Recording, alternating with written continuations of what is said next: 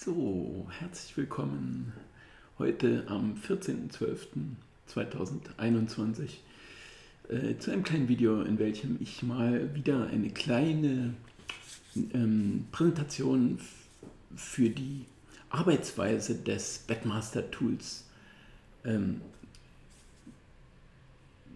machen möchte und euch etwas zeigen möchte, auch zum, das Verständnis natürlich immer weiter anwachsen lassen und natürlich die, den Nutzwert ähm, des Tools, was ihr in der Beschreibung äh, finden könnt, beziehungsweise den Zugang euch selbst sichern könnt. Da ist eine ganze Menge schon ziemlich gut, was funktioniert und was eben hier am Wettmarkt absolut äh, konkurrenzfähig ein, ein super Produkt darstellt, mit welchem man eben prinzipiell Quoten berechnen kann und ähm, also Eintrittswahrscheinlichkeiten im Kehrwert die Quoten und diese am Wettmarkt ähm, zum Vergleich stellen kann und äh, damit natürlich nach Möglichkeit auch tatsächlich ein bisschen Geld verdienen kann. Ob man davon leben kann, das sind wieder ganz andere Fragestellungen natürlich. Aber jeder wäre natürlich äh, froh, wenn er äh, sein monatliches Budget ein bisschen aufbessern könnte. Aber so weit gehen meine Versprechungen gar nicht. Die Erklärungen sind aber nicht nur ähm, natürlich hoffentlich hilfreich, ähm, nützlich, stichhaltig, nachvollziehbar, ähm, anwendbar und äh, letztendlich natürlich auch zur Verlässlichkeit und äh, Glaubwürdigkeit und, und ähm, für das Tool und seine Effektivität äh, geeignet. Ja, hoffen wir mal. Ne? So, eine der zentralen Größen sind also zum Beispiel diese Event-Parameter. Und ähm, insofern möchte ich hier mal eine genaue Aufklärung darüber geben, und äh, das ist also auch für jeden, der mit dem Tool schon arbeitet oder vielleicht damit arbeiten möchte, äh, dann natürlich später eine wichtige Vergleichsgröße, mit der man tatsächlich dann eine Menge äh, auch selbst steuern lernt. Ne, die kleine Einführung in das Prinzip. Ähm, also jedes Event hat seine eigenen Parameter. Der Bettmaster entfaltet seine wahren Stärken speziell im allerdings allgegenwärtigen Ligabetrieb. Das heißt also, wir wetten am liebsten eben dann, wenn Bundesliga, Premier League, Serie A und so weiter die großen Ligen spielen, aber auch die kleinen können wir spielen, wenn wir Europameisterschaft haben oder äh, Champions League oder diese Wettbewerbe, DFB-Pokal, da wird es etwas schwieriger. Und wer das trotzdem möchte, kann zwar was machen, aber da ist das Tool eben längst nicht so gut für geeignet. Jeder spielt gegen jeden, das also als Begründung, warum das äh, Ligabetrieb so gut ist. Jeder spielt gegen jeden, fast allen Ligen, mindest, mindestens einmal zu Hause, einmal auswärts. Das ist halt auch wichtig. Ne? Das macht den Bettmaster mit seinen Algorithmen gerade in diesem Modus so stark. Man kann die Mannschaften daher im Vergleich bestmöglich bewerten. Die Spielstärken äh, auf denen alles äh, basiert. Ihr könnt ja eben auch in anderen äh, Videos dann sehen, wenn ich konkret damit arbeite, auch in meinen Streams natürlich herzlich willkommen. Die Spielstärken bestimmen sich im Wettbewerb im Wesentlichen aus den erzielten und den kassierten Toren. Das finde ich natürlich das absolut logische Prinzip, was zählt im Fußball die Tore. Klar kann man sagen, dass 2-1, 4-0 macht keinen Unterschied äh, ne, für die Tabelle so zwingt. Aber es ist natürlich trotzdem ein Unterschied, wenn man halt 4-0 gewinnt. Nicht nur, dass man keine Sorgen hat, aber auch die Tore zählen natürlich ein bisschen.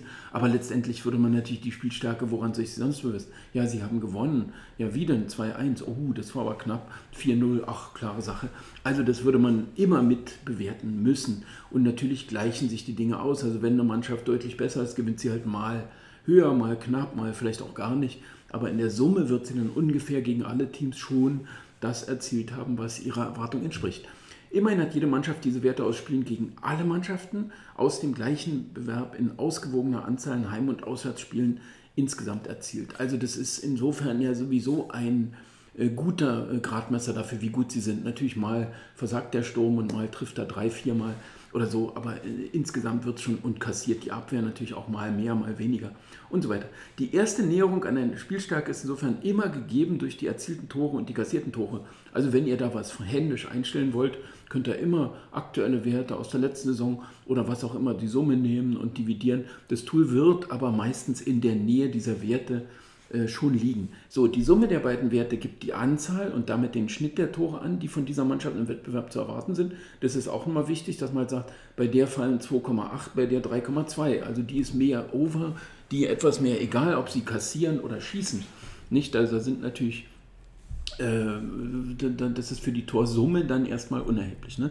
Der Quotient von erzielten durch kassierte Tore misst genauso in erster Näherung die Spielstärke in einem einzigen Wert. Sonst muss man mal sagen, wie gut sind sie denn? Naja, zwei Tore schießen sie pro Spiel. Aha, das ist ja ziemlich gut. Na, wie viel kassieren sie denn? 1,5. Ach so, ist nicht ganz so gut. Also dann ist es eben als Quotient angegeben und so wird auch sortiert im Ranking. Also immer der Quotient wird als Sortierkriterium genommen.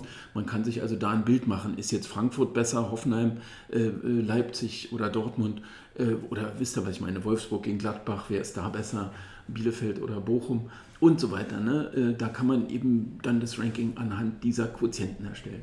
Die grundsätzliche Arbeitsweise im Webmaster, gehen wir mal vom Fall einer Erstinitialisierung im, ähm, im Tool aus und einer solchen vor Saisonstart. Klar, wenn man während der Saison jetzt einen Einstieg, geht es auch, kann man auch die Initialisierung durchlaufen lassen. Man kann jetzt auch so tun, als ob man vor der Saison initialisiert und dann die die Spiele abschließen. Aber gehen wir jetzt mal einfach dafür aus, äh, davon aus, dass wir jetzt vor einer neuen Saison sind. Man hat also pro Wettbewerb idealerweise und für die Präsentation ja ausschließlich so angenommen, Ergebnisse aus der Vergangenheit. So, anhand dieser Ergebnisse lassen sich die Spielstärken schon recht gut bestimmen, nach den vorher genannten äh, Quotienten und Summenbildung. Also die beiden Werte werden halt gespeichert. Wie viele Tore schießen Sie in der Erwartung? Wie viel kassieren Sie in der Erwartung?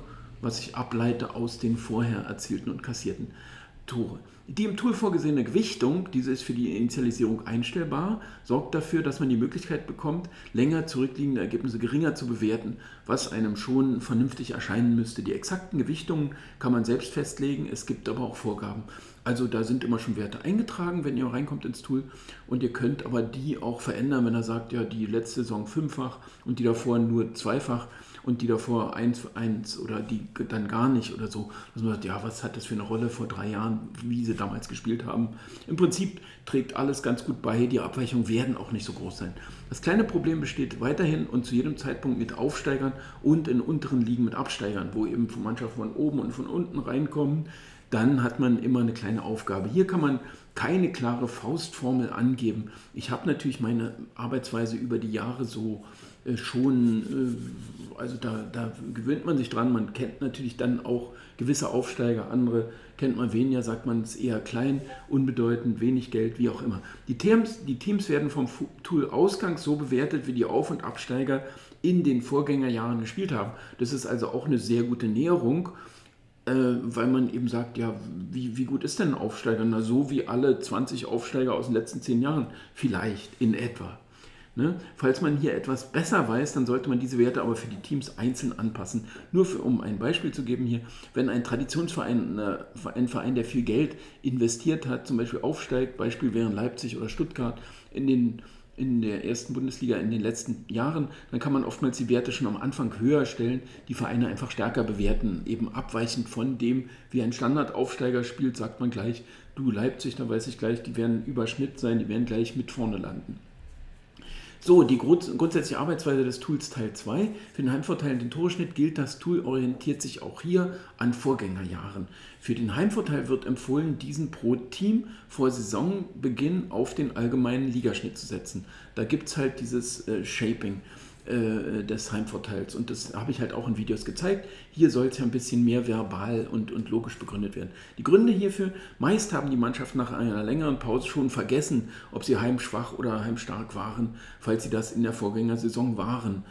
Viele Mannschaften verändern ihr Gesicht, sowohl im Kader als auch Vorstand und vor allem auf der Trainerbank. Also da sind immer Spielerwechsel, Trainerwechsel und so weiter an der Tagesordnung. Wenn die Tabellen alle auf Null zurückgesetzt werden, gilt das auch für die Einstellung der Spieler, der Trainer, der Zuschauer. Das ist auch wichtig, der Teams generell. Alles steht auf Null, machen wir das Beste draus, keine Altlasten. Also da ist es auch klug, wenn man sagt, vergiss doch, Mensch, letzte Saison habt ihr keinen Heimsieg oder nur zwei und sechsmal verloren oder sowas. Eine Mannschaft von unten vielleicht. Die Saison, jetzt ist alles auf Null, zack, jetzt, jetzt machen wir einen Schnitt und Fahrten fangen nochmal neu an. Und dann funktioniert das halt auch. Und insofern sollte man die Werte zurücksetzen, das ist meine Empfehlung. Der Wettmarkt bewertet das auch so, ob aus Bequemlichkeit oder aus allgemeinem Unwissen ist hier nicht bekannt, aber auch ziemlich irrelevant. Also wenn man das mit dem Wettmarkt vergleicht, da könnte man theoretisch was rausholen, wenn man jetzt sagt, ich weiß doch, dass die heimstark sind, das ist schon seit zehn Jahren so, kann man manchmal machen und gilt auch vielleicht für manche Mannschaften, aber äh, am Wettmarkt äh, wird es eben auch gemacht. Das heißt also, wir würden Abweichung provozieren, und dann müssen wir eben auch beweisen, dass wir damit gewinnen können. Wenn wir das gleich machen, so wie ich es hier empfohlen habe, dann haben wir weniger Abweichungen. Auch beim Torschnitt kann man so vorgehen, alle Teams auf den Ligaschnitt setzen. Das ist gerade bei unteren Ligen sehr empfehlenswert, weil da verändert sich noch mehr. Ähm, aber was die Anzahl der erwarteten Tore bei den oberen Ligen kann man sagen, so Mannschaften wie Bayern, München, Juventus oder halt so Top äh, Liverpool, äh, wisst schon, äh, Manchester City, da gibt es immer ein kleiner, oder Real Madrid, Atletico, immer so ein bisschen charakteristisch, da gibt es mehr Tore, bei denen weniger. Dann kann man das bei den Mannschaften manchmal so lassen oder äh, ne, bei, bei den unteren Ligen sowieso eher gleichsetzen und den oberen schon ein bisschen kritisch manchmal gucken, aber vielleicht individuell ein bisschen anpassen und so weiter. Aber hier ist wie gesagt ein bisschen theoretisch. Man sagt, ist mir zu kompliziert. Dafür gibt es ja auch die anderen Videos, in denen ich es erkläre. Aber wenn man das auf Standard setzt, quasi diese, dieses Shaping, was ich hier, das stand ja da auch äh, als äh, Begriff, dann äh, macht man eigentlich nie einen großen Fehler, also im Vergleich zum Wettmarkt. Also man hat dann weniger Indikationen äh, für gute Wetten. Ne? Aufgrund der Spielstärke, also Berechnungsgrundlagen, aufgrund der Spielstärke, welche man am Ende der Initialisierung speichert, ergeben sich für alle anstehenden Spiele meist schon recht gute Torerwartungen, überflüssig, Torerwartungen für die einzelnen Paarungen. Also er verrechnet die, das ist eben nochmal mit Heim auswärts auch nochmal getrennt, was ja da alles steht. Dass, wenn man das geshaped hat, dann ist das halt äh, alles gleich verteilt und richtig. Aber äh, dann rechnet er halt deren Torerwartungen mit deren, äh, verrechnet er zu Torerwartungen für das Spiel. Und diese Torerwartungen werden per gar nicht so schlichter, da von den jeweiligen Zwischenergebnissen abhängig. Das heißt also innerhalb der Simulation achtet er auf den Spielstand und passt daraufhin äh, ein bisschen die Erwartung an, was eben realistisch ist. Aber das will ich ja nicht hier jetzt genau erklären. Ich will bloß sagen, das einfach so simulieren äh, ist nicht, ähm, äh, dass das jetzt jeder gleich könnte. Ne? Das wird also per Simulation in Ausgangswahrscheinlichkeiten Ausgangswahrscheinlichkeit, das heißt also, wie endet das Spiel umgerechnet. Hier können alle am Wettmarkt gängigen Wettarten mitberechnet werden. Also wenn ihr wissen wollt nachher, äh, over und äh, die Mannschaft gewinnt oder sowas, dann habe ich das zwar jetzt nicht mitgezählt im Moment, aber wenn da eine Nachfrage ist, dann ist es überhaupt kein Problem, äh, die Wettart mitzuzählen. Ne? Dann muss es halt, müsst ihr sagen, das wollen wir haben. Es ist überhaupt kein Problem für mich, das mitzuzählen. Dann können wir das in den Wettmarkt ähm, äh, Auswahl äh, einblenden und dann könnt ihr das ähm, äh, dann, dann kann das Tool das berechnen und dann kann man halt das auch am Wettmarkt vergleichen. Sofern man die einzelnen Fragestellungen während der Simulation, die ich 10.000-fach hier durchführe, beantworten, die Werte mitführt, die gefragt sind. Also genau das, was ich eben gesagt habe. Das heißt, alle Quoten sind dann auch aufeinander abgestimmt. Also er zählt es ja in der 10.000-fachen Simulation zählt da einfach alles mit und dann stimmt sowohl das ne, Over-Under, wer erzielt das erste Tor, wer gewinnt das Spiel, also er hat das Handicap, Halbzeit, Endstand, alle Märkte, die es gibt, äh, both teams to score und so weiter. Ne? Äh, Werte entspringen der gleichen Basis, der gleichen Simulation. Äh, und passen logisch einwandfrei zusammen. Also das ist eben sehr wichtig.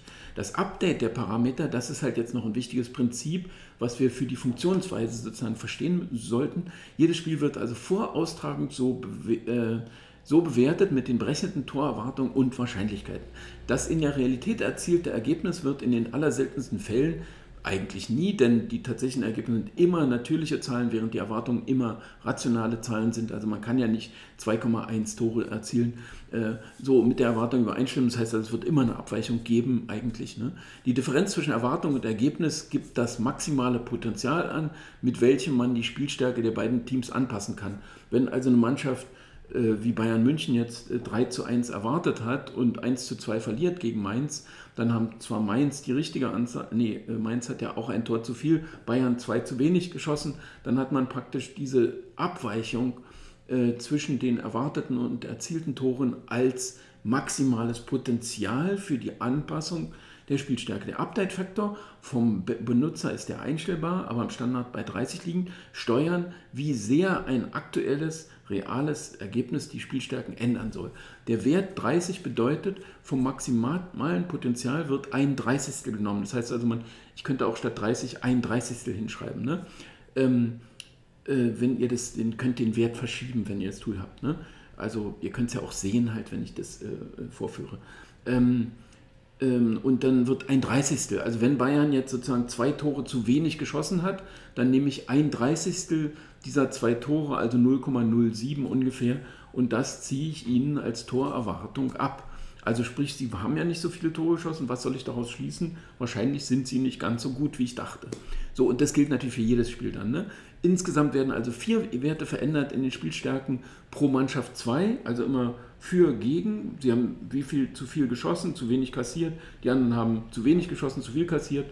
Und dann wird es bei jeder Mannschaft zweimal abgezogen. Leider wird es aber eben auch noch auf Heim und Auswärts angerechnet. Das macht es natürlich ein bisschen kompliziert, aber ich muss eben das Heim-Auswärts nochmal differenziert betrachten, weil eben äh, die, die, die Spielstärken sich eben nicht nur äh, eine Gesamtspielstärke, sondern quasi auch das, äh, die Heim- oder Auswärtsspielstärke dieser oder jener Mannschaft ähm, äh, angepasst werden muss oder wird mit, diesen, mit der Veränderung der Werte angepasst. So, alle Werte entwickeln sich ständig, die Entwicklung der Werte, also alle Werte entwickeln sich also ständig mit jedem weiteren real eintretenden Ergebnis. Die Spielstärken der, der Teams werden mit jedem Ergebnis individuell angepasst. Der Toreschnitt der Liga ändert sich ebenfalls mit jedem neuen Ergebnis. Ganz klar, wenn es 2-1 ausgeht, haben wir drei Tore, passt ziemlich genau. Wenn es 0-0 ausgeht, ist ja äh, deutlich unter drei, dann geht der Toreschnitt halt ein bisschen runter, weil er für die beiden Mannschaften runtergeht. Damit geht er auch in der Summe runter. Also, beziehungsweise ja, jetzt kommen wir ja auf die äh, verschiedenen äh, Ausprägungen, die wir haben von den Werten. Selbst wenn nur Nuancen, alle Werte befinden sich im ständigen Fluss. Immer von den Ergebnissen wird alles angepasst und verändert. Das betrifft natürlich sowohl die Erwartungen, mit, welcher, mit welchen wir die zukünftigen Spiele bewerten wollen, als auch die konkreten und tatsächlich erspielten Werte. Zudem haben wir für alle vergangenen Spiele die für diese Spiele berechneten Werte in der Erwartung. Wir haben also zunächst drei miteinander ständig zu vergleichende Werte. Und äh, die drei ständig zu vergleichenden Werte sind folgende. Sowohl für den Heimvorteil als auch für den Toreschnitt, sowie im Grunde auch für den Remisfaktor, den ich aber jetzt hier mal nicht äh, konkret und speziell betrachte, aber den können wir immer mit beobachten. Das habe ich jetzt hier auch nicht im Ausdruck, aber da sieht man immer, wie viele Remisen haben wir erwartet, wie viele sind eingetroffen. Im Moment macht das Tool da eine ziemlich gute Arbeit, aber da sollte man eben dann auch gelegentlich mal diese Gesamtstatistiken angucken, wie viele Unentschieden haben wir erwartet, wie viele sind gekommen. Das ist halt ein sehr empfindlicher Wert, den ich jetzt aber eben obwohl ich schon lange darüber geredet habe, nicht besprechen wollte. Es gibt den einen Wert, welcher die Erwartung aus den bisher gespielten Spielen widerspiegelt, wieder ein Druckfehler. Es gibt einen realen Wert, welcher eingetreten ist. Und es gibt den einen Wert, welcher aus den aktuellen Teambewertungen, den Spielbewertungen, die Erwartungen für die zukünftigen Spiele angibt. Um ein Beispiel zu nennen, und an dem kann ich das dann euch, euch halt äh, demonstrieren. Ich habe das heute gerade jetzt gemacht, am 14.12. zeichnen wir auf, wann ihr anguckt, weiß ich nicht. Ähm, jetzt habe ich eben äh, Spiele gesamt, Tore gesamt für gegen, was also dann den Heimvorteil, also aus Sicht der Heimmannschaften. Und also erzielt 170 Spiele äh, gesamt habe ich erwartet und sind auch gespielt worden. Das heißt nur, dass ich alle bewertet habe. Ne? Also wenn ich hier die Zahl mit ausgebe, dann will ich nur sehen, ob ich vielleicht eins vergessen habe, zu, überhaupt zu berechnen. Also es hatte aber nicht. 523 Tore sind gefallen, 512,4 habe ich erwartet. Da sehe ich jetzt schon mal, dass ich also einen kleinen Fehler habe. In Italien fallen noch mehr Tore, als ich dachte. Jeder sieht es vielleicht jetzt in den Spielen. Ähm, und ähm, das ist eben, naja, soll ich jetzt sagen, da muss ich anpassen oder soll ich das Tool das machen lassen? Ist es Zufall oder äh, was, was hat es mir zu sagen? Bloß ich sollte es immer im Auge behalten. Und wichtig ist mir zu verstehen, dass ja der, ähm, mit jedem Ergebnis wird ja der, äh, werden ja alle Werte auch angepasst. Also das heißt, wenn da zu viele Tore kommen, dann zieht der immer ein bisschen nach und sagt, ja, wahrscheinlich muss ich doch ein bisschen mehr erwarten. Und das wird halt so lange sein, bis sie dann doch wieder runtergehen und dann sagt er, oh, habe ich doch ein bisschen viel erwartet. Also falls es mal so kommen sollte. Ne? Also er versucht eben ständig das auch ähm, äh, auszubalancieren. Und das sieht man halt hier teilweise auch in diesen Werten. Also wie gesagt, die Heimmannschaften haben 286 Tore erzielt. Das war jetzt für mich ein schwer zu bestimmender Wert, weil wir diese Corona-Zuschauerlosigkeit, jetzt kehrt sie vielleicht wieder ein oder weniger Zuschauer und so weiter aber dass es jetzt nicht so perfekt zu bewerten war. Aber die Abweichung ist natürlich auch nicht groß. Also die Heimmannschaften haben halt diese 13 Tore zu viel, die Auswärtsmannschaften haben zwei, drei Tore zu wenig geschossen. Da kann man auch sagen, ja, hier war mal ein Abseits, da wurde eins aberkannt, hier waren Elfmeter nicht gegeben oder was weiß ich. Also sprich, drei Tore sind jetzt auch nicht viel. Natürlich die 13 sind ein bisschen mehr, Also 3,808 Tore sind gefallen, 3,01 hatte ich erwartet.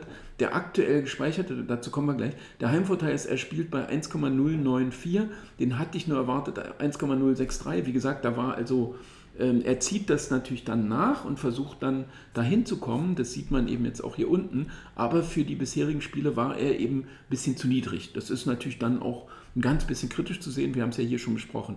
Die haben zu viel geschossen äh, und zu wenig kassiert. Also beide Werte sind so ein bisschen pro Heimmannschaften ausgefallen. Ne? Der aktuell gespeicherte Wert aus den Teamstärken, die jetzt gespeichert sind, ist nur 3,0. Da kann man fragen, ja, warum eigentlich?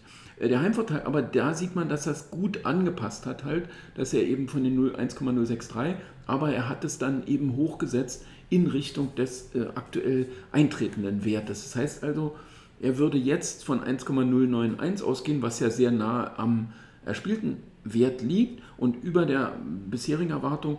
Und äh, das ist also, sieht für mich dann sehr realistisch aus. Und warum die 3,0 hier steht, habe ich jetzt auch kurz gerätselt. Aber es liegt wohl daran, also vor der Saison war er ungefähr in der Größenordnung eingestellt, aber jetzt waren am letzten Spieltag nur in Anführungszeichen 28 Tore. Dann kann es also sein, dass er das so ganz bisschen dann wieder runtersetzt. Also quasi, ne, weil jetzt haben wir einen aktuellen Spieltag, wo zu wenig Tore waren, dann setzt das halt ein bisschen runter. Wenn wir nächstes Mal wieder 34 haben, dann ist er vielleicht bei 3,04 oder sowas oder 3,05. Also sprich, das wird eben dann ständig, wie ich jetzt schon sagte, nachgezogen und angepasst. So, und dies ist natürlich auch jetzt wichtig für jeden äh, zu verstehen, dass man eben auf diese Werte gucken sollte. Und natürlich äh, wünsche ich mir das jetzt von Anfang an, dass das so auch ausgegeben wird im Tool. Ihr müsst es im Moment noch äh, ein bisschen zusammensuchen. Also ich habe es auch einfach nur per Copy-Paste hier raus. Also die Werte stehen schon da. Aber das will ich jetzt nicht in der Demonstration noch machen, sondern hier wollte ich das nur mal so ein bisschen theoretisch erklärt haben und natürlich damit auch deutlich machen, dass das Tool hier schon also eine ziemlich gute Arbeit leistet und dass ihr allen Grund hättet, natürlich auch euch da den Zugang zu sichern. So, jetzt bin ich erstmal raus und danke vielmals. Tschüss.